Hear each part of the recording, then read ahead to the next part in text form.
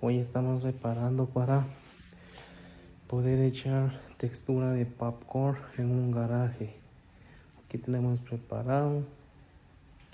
Ya le pegamos una, una su media pasteada para poder echar la textura de popcorn, así como va el recorte acá. Preparamos la puerta y así lo vamos a echar. Estamos esperando que se seque un poquito la, la pasta que colocamos. Echamos una pasta de 15 minutos. Y así es como vamos a mostrar cómo echarle una rociada de popcorn textura con una máquina pequeña. Al final del video les estoy mostrando cómo quedó la, la pared de textura. Seguimos.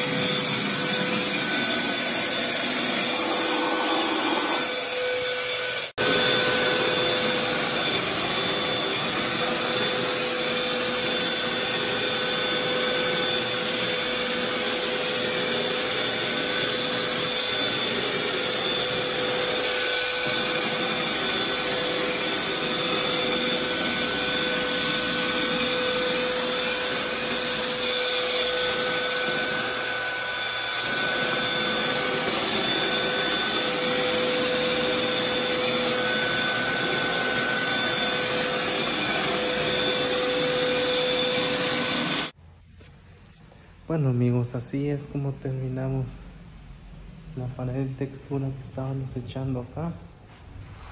Nos quedó así.